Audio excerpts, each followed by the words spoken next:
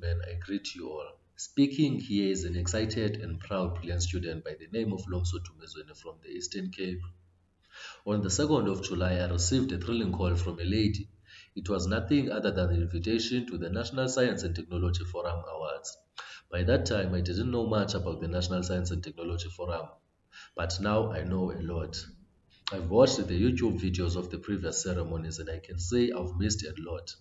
From what I've seen from the videos, it is a very fascinating experience.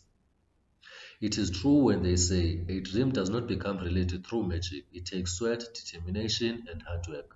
Having done my matric at Nyanga High School, a rural school in Ngcobo, it has never been easy to achieve excellent results, but every cloud has a silver lining. It is only the poor workman who blames his tools, so I managed to excel anyways. I am currently studying medicine at the University of Cape Town. Medicine is the science and practice of establishing the diagnosis, prognosis, treatment, and prevention of disease.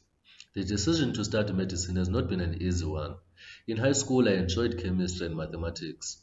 So pursuing studies in medicine meant that I no longer had to do mathematics, but I had to put into consideration the fact that I have a sick family that is looking up on me Many people in my family are suffering from chronic diseases and are uninformed about the diseases, which I believe is the common problem in rural families, where the level of education and awareness is very low.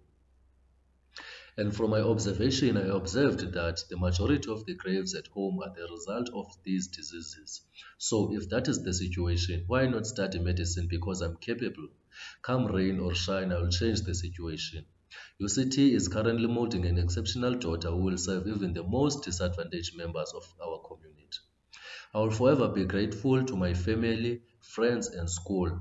Their combined efforts groomed me to what I am today.